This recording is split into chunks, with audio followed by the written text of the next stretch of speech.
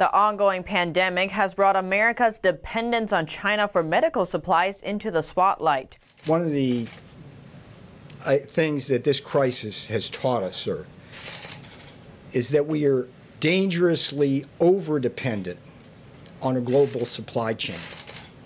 For our medicines, like penicillin, our medical supplies, like masks, and our medical equipment, like ventilators. According to a recent congressional report, 30% of the U.S.'s personal protective equipment imports last year came from China. Similarly, 80% of the basic components used in U.S. drugs come from China and India. But 80% of the key ingredients for India's generic drug manufacturers are also sourced from China. So how did we become so reliant on China? Many world leaders argue letting it into the WTO was an important turning point.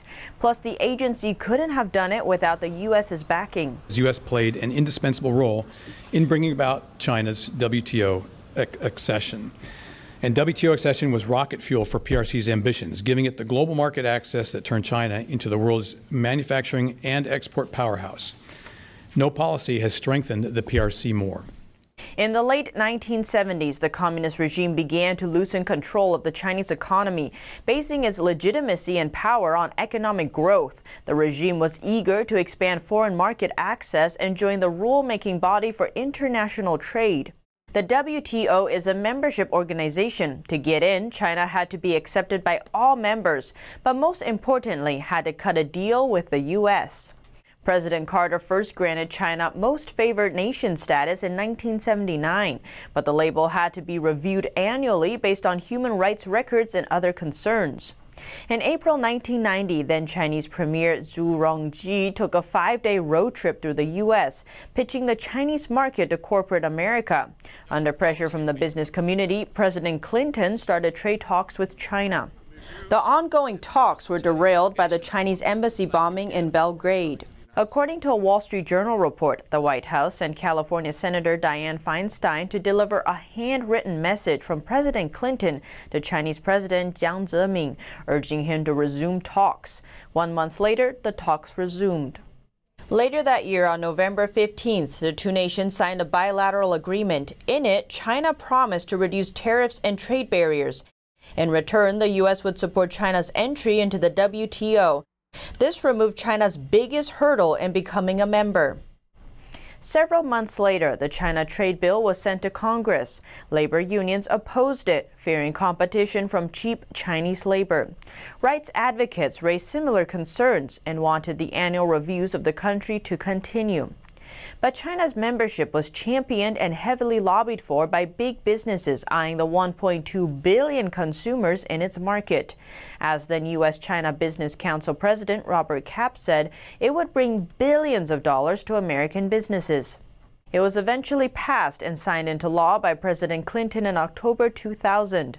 The move granted Beijing permanent trade relations, removed the annual review, and paved the way for China's WTO accession the next year.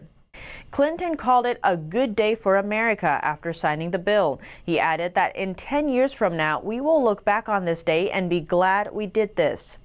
But 10 years later, that wasn't what had happened. Judging by the expressions of the past 10 years, I think the answer to the first question, whether China has and will keep its promises, is sadly no. The level playing field promise as part of WTO's ascension has not arrived. WTO membership has resulted in a massive ship of jobs and wealth from the United States to China, which has come again at a huge cost to us. Just in the few months following President Clinton's approval, over 80 companies announced plans to move production to China. The corporations were mostly multinational. With foreign investment and factory jobs flooding in, China's exports and economy boomed. During the same period, the U.S.'s trade deficit with China also going from $84 billion in 2000 to nearly $420 billion in 2018. World Trade Organization, which created China. China has been like a rocket ship ever since. With production shifted to China, jobs went there too. According to a recent study from the Economic Policy Institute, the deficits with China cost 3.7 million U.S. jobs between 2001 and 2018. That's because the imports represent products that otherwise would have been made by American workers. Also lost to China, America's own capacity to make medicine.